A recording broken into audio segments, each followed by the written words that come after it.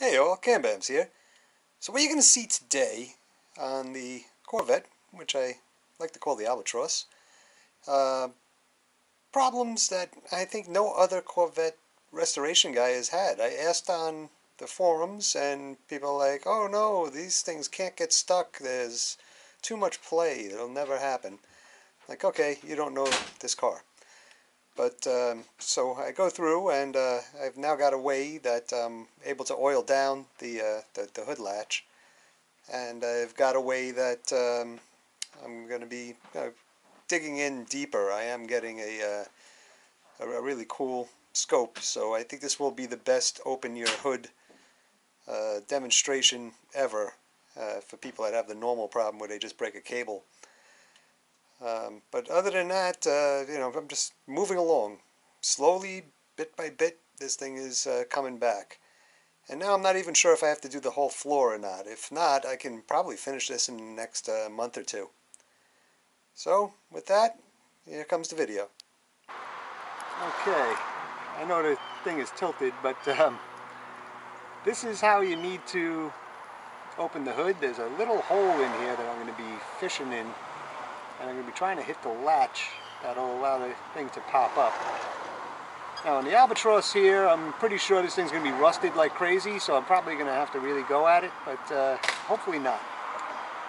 But if uh, it's like the rest of the car, it's going to be rusty. so here's to uh, hopefully getting this out quick. Okay, after much trial and tribulation, I got these lovely seat foams and leathers out. The uh, things were so rusty they were just absolutely stuck in there. I get how this is supposed to be installed, but my goodness. I think the, I'm, I'm, really hoping that uh, putting them on and installing them is going to be easier than getting them out. Anyway, this is the way we're kind of looking in here now. I still have a little bit more, well, little I say. I've got a lot more cleaning to do in here, but uh, it's uh, actually getting better slowly. I figured uh, I want to wash the outside, but then I'm looking at the inside. I'm like, you know what? It looks better outside than it does inside. So let's start uh, gutting and getting stuff out. I think, you know, looking at it, it looks like everything is trash, but really, I, I believe a lot of this will clean up.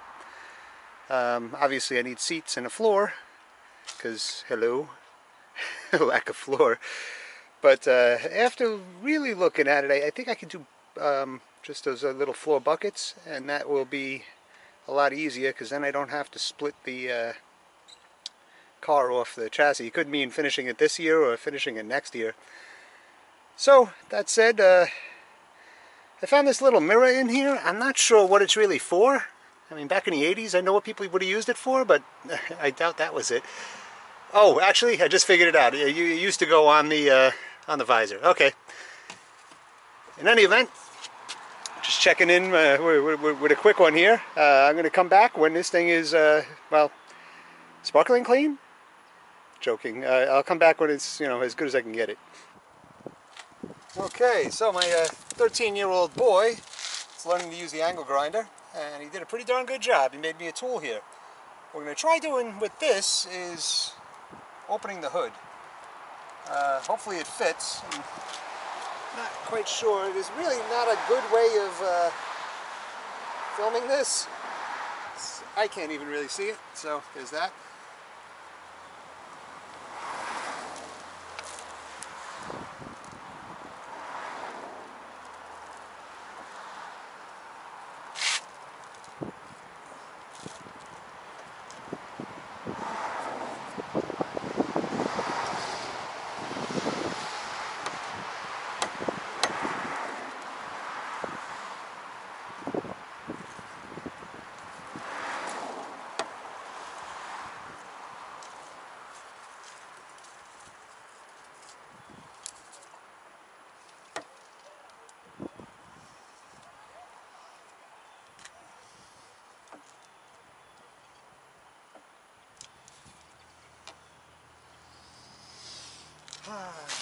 This windshield is broken already, isn't it?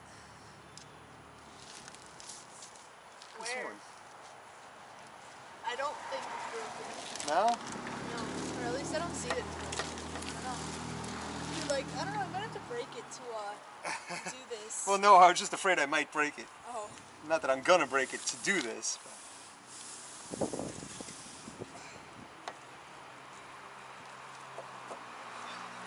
How much house is broken? I guess it's broken. Like there's like a fire inside. It's like, Oh no, that's the the top part is um, tinted. oh, it's like A lot of weird cars are like that. I know, I know, but it's like a weird rainbow into it. If that's not long enough. I don't have longer sheet metal, so. No, it's it's plenty long. That's not the problem.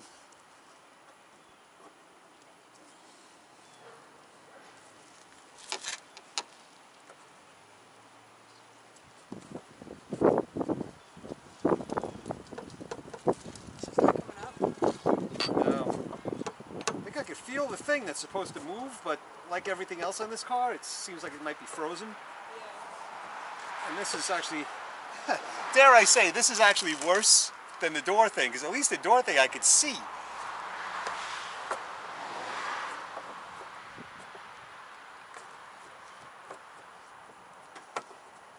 I don't want to break the hood. I don't want to break the windshield? No, definitely don't want to break the. Well, the windshield wouldn't even really help. I'm just afraid of uh, that happening. Yeah.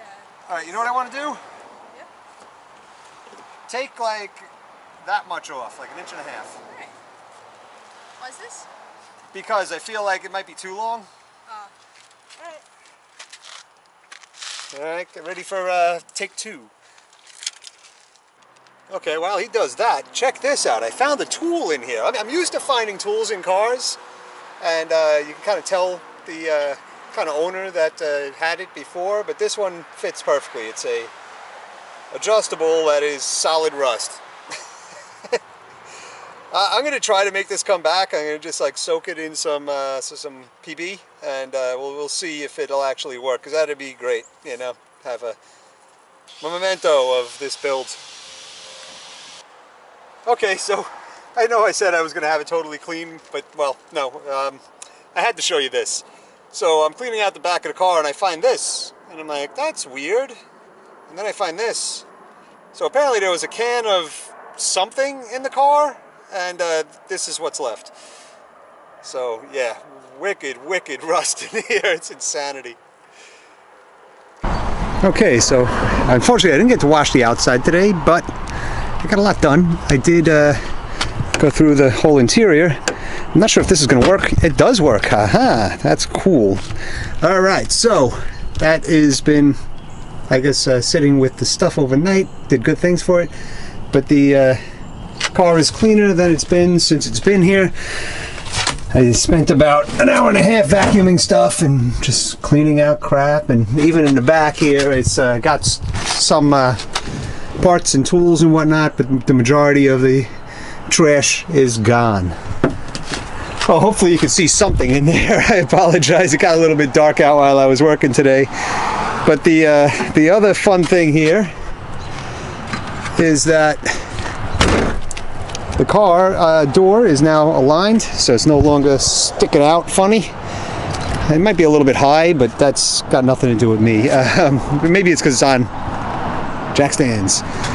So the next thing I'm going to be doing is uh, yanking these wheels off, and uh, be bringing it up to have these tires installed, and um, that should be something nice to have actual rubber on here. Because I don't know, this stuff just is really, really scary and uh, I wouldn't even want to tow it on these wheels, you know, if the car did roll. So that said, this is just a, uh, a quick uh, where we're at. Oh, the other thing is my, my uh, son had made me that really nice metal tool to uh, dig in there, and I'm hitting the thing, but um, I actually looked at the one on this side here. You're not gonna be able to see crap under there, but looking at this one, this one's frozen.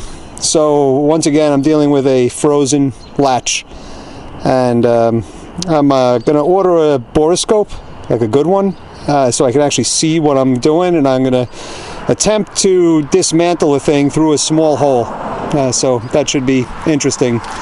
And I'm going to see if I can't somehow video some of that. It's not easy because it's under the hood and everything, but uh, every time I've seen somebody open the hood on YouTube, it's been, well, afterward. Like, here's the hood open, here's how we did it. Well, that sucks. Anywho, I'll be back. Okay folks, I um, propped up the right side of the hood a little bit since this side was unlatched. And now looking at the latch, I think I know what my problem is. I'm reaching in there and I am uh, you know, trying to push down this uh, little thing over here. And uh, the problem is this side is totally frozen. Like I can't wiggle this or move it at all. So I think this is going to be just like the door, only harder because of the location of it. So what I've done is I've ordered a borescope, uh, high res or 1080p borescope with a, a, light. So hopefully I'll be able to uh, find a way of either oiling this thing or, yeah, because this one doesn't turn either. Like I can't nudge it even a little bit or uh, you know get, get, get a way uh, to you know get a screwdriver on it and actually start like bending it up or something like that I'm definitely going to be getting a new one I have a feeling. Anyway that's the fun that I'm having today. Um, the car is now up on jack stands and the tires are up in the air. So uh, next comes the uh, tires are coming off. Boy these things have to be probably 35 years old now. And uh, yeah, the cool part is the front wheels, they kind of roll. Back wheels on the other hand, nothing at all. So I think it's actually both. I think it's stuck in gear and I think the brakes are frozen. So there's that. But uh, I'll be getting into that very, very soon.